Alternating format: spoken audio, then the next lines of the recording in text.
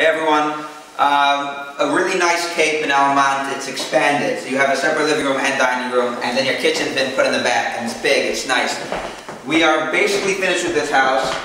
Again, the kitchen looks really good, flooring is great, bathrooms have been all redone, they look really nice. Um, the house will hit the market, I'd say, in the next week or so. We already have offers on the house as well because it's priced right and it looks amazing. So keep posted, keep checking out on Facebook, and uh, you'll see when it goes.